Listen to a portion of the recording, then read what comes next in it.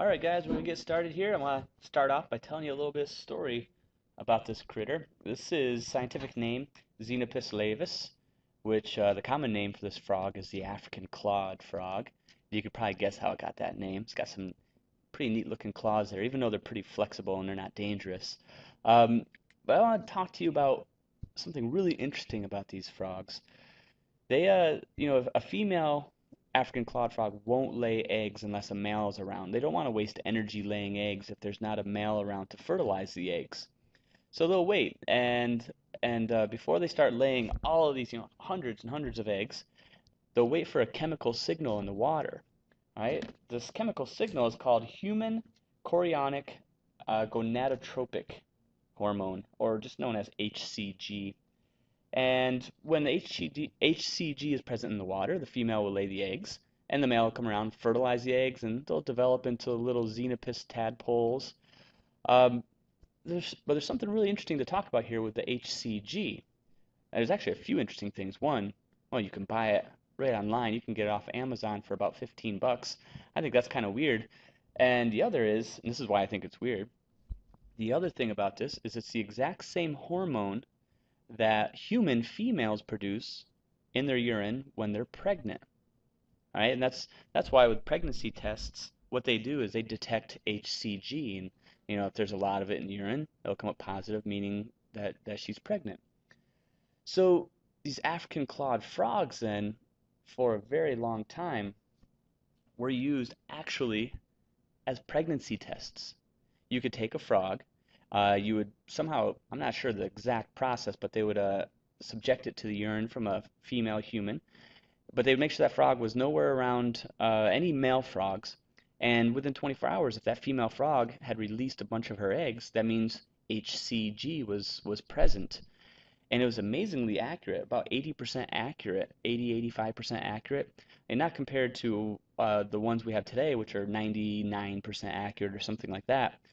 But it's this kind of weird interaction between hormones in the frog world and in the human world. Uh, so next thing I want to talk about here, that I want to kind of link this all to, is the importance of biology. And that's just one kind of neat story. But we have this huge story going on right now.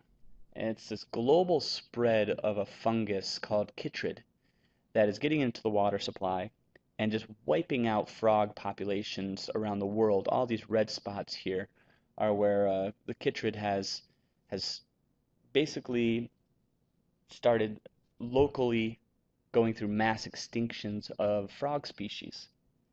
And it's it's kind of a scary issue. All of a sudden the frog populations are dropping. You know, you, you can think of that locally here too. We have bat populations dropping.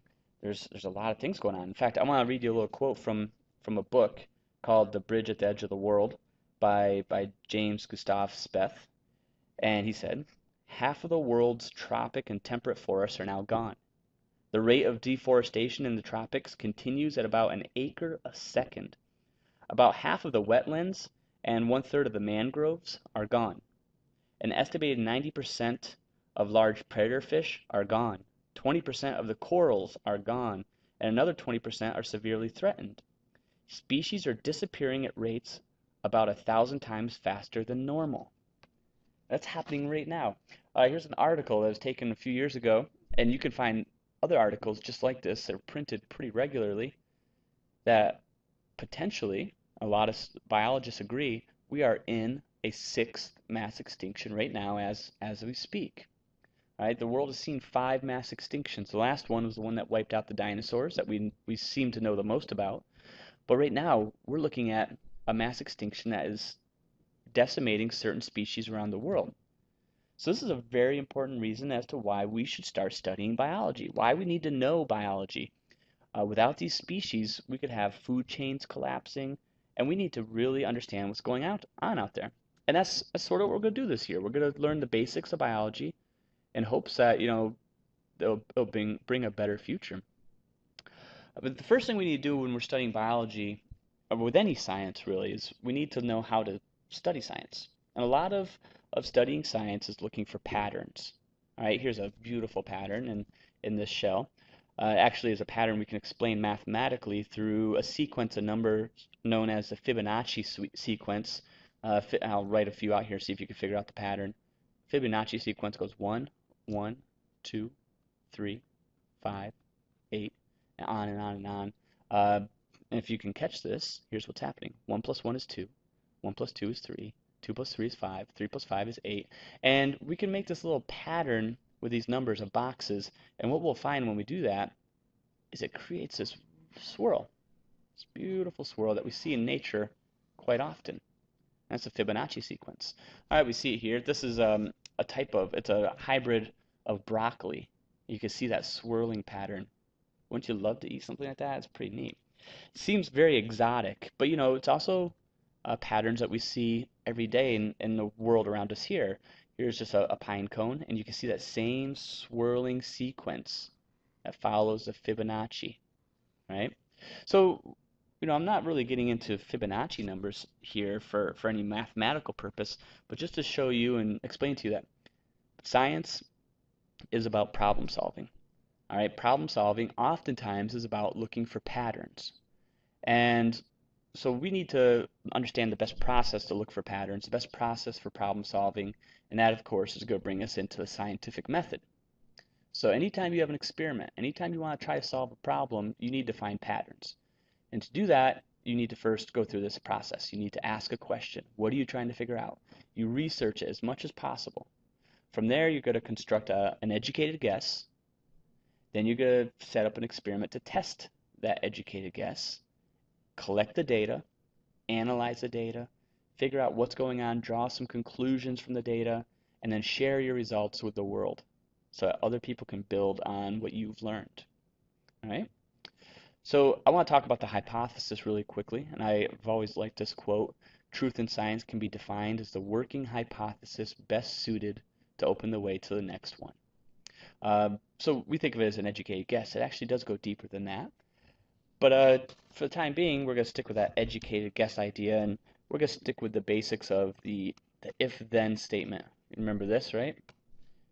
And to give you an example how we write a hypothesis, we have an experiment. I'll, I'll come up with something very simple here. My dog, my dog Maggie, she, uh, I want to find out if she likes moist food or dry food better. So I could say, all right, my guess, my educated guess is if I give Maggie moist food versus dry food. Sorry, I'm losing my letters here. Then she will like, let's make a guess, the dry food. You notice I made a guess here. I have an if-then statement. So it's a good way to do a hypothesis. What you don't want to do, I've seen this happen a lot, a lot, a lot in school. Don't say something like, if I give Maggie moist versus dry food, then she will like one of them. That's not a guess, right? So you need to make sure to essentially choose a side, and it helps keep you honest through your experiment. And you can be wrong. It's okay to be wrong with a hypothesis, but it helps guide your experiment. Okay, so when we start to test that hypothesis, setting up an experiment, you might recognize some of these words we need to begin thinking about the variables of an experiment. The first one we start with is the independent variable. And this is what I like to remember as the thing that I choose to change. Think of that I in independent right there as the thing that as the thing that I choose to change. All right. So I'm going to do an experiment here. I'm going to grow some zucchini plants, uh, and they uh, I'm going to use Miracle-Gro to, to see how well they grow. And I'm going to choose 5 milliliters of Miracle-Gro, 10 and 15. So I chose the amount of Miracle-Gro. That's my independent variable. The dependent variable is what I'm trying to figure out. Okay, I put the sort of the simple definitions in purple here. What I'm trying to figure out, and I want to know how much the, does the plant grow. All right, for the for the one with my dog Maggie, uh, I chose dry versus moist food. What do I want to figure out? What's my dependent variable? Which one she prefers. Simple as that. The control group in an experiment is the one that receives no experimental treatment. All right? Think of your independent variable and don't give one of them at least that independent variable. In this case, my independent variable is the Miracle-Gro, the amounts of Miracle-Gro. So I'm going to have one that gets no Miracle-Gro at all. Just water.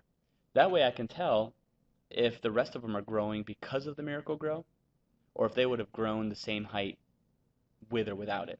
That's what the water one is for. That's my control group. All right? So in class, we're going to do a little practice with these, with the independent variable, dependent variable, and control group, and we'll come back to our second lecture after this.